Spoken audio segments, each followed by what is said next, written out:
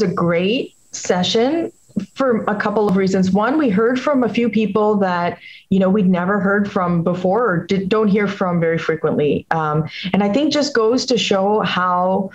Um, how the field is growing and how there's just these wonderful like smart like interesting people doing work in the field and the directions that they're taking it. Um, I think what was really fascinating about the session was to just sort of